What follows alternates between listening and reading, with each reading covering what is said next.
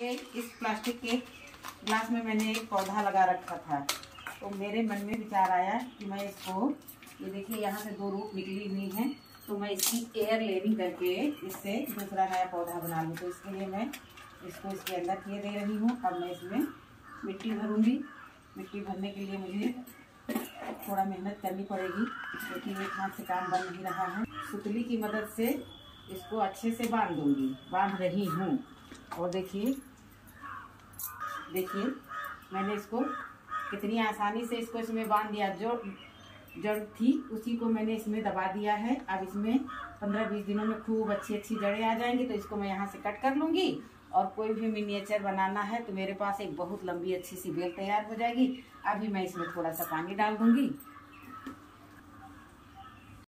मैंने इसमें पानी डाल दिया है, पानी नीचे से टपकने लगा है। अब धीरे धीरे मैं इसको थोड़ी सी देखभाल करूँगी, बस दस पंद्रह दिन में अच्छी खासी इसमें जड़े आ जाएगी।